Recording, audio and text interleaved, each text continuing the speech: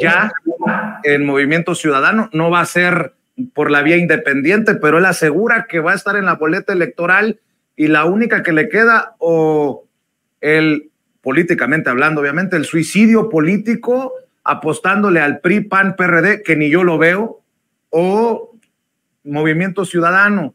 Eh, ¿cómo, cómo, cómo, esperan eh, mientras decide Marcelo Ebrard en Morena, Mario? Pues no, yo lo veo dentro de Morena, yo lo veo participando en el movimiento, ha sido un protagonista de esta transformación y tiene que seguir siéndolo. Falta mucho todavía en nuestro país, eh, Vicente, hay mucho por hacer. Esta transformación apenas inicia y necesitamos de personas como Marcelo. ¿Qué te parece?